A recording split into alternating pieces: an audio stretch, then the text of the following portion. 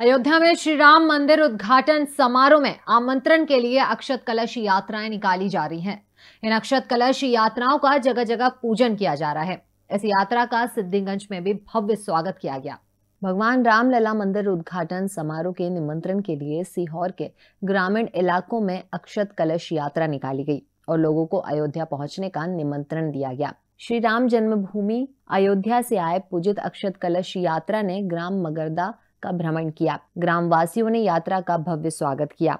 शोभा यात्रा माता मंदिर से नगर के मुख्य मार्ग होते हुए राम मंदिर खातीपुरा से होकर बस स्टैंड तक किया गया। शोभा यात्रा जावर से सिद्धिकंज पहुँची। लोगों ने अपने अपने घर के सामने रंगोली बनाकर स्वागत किया।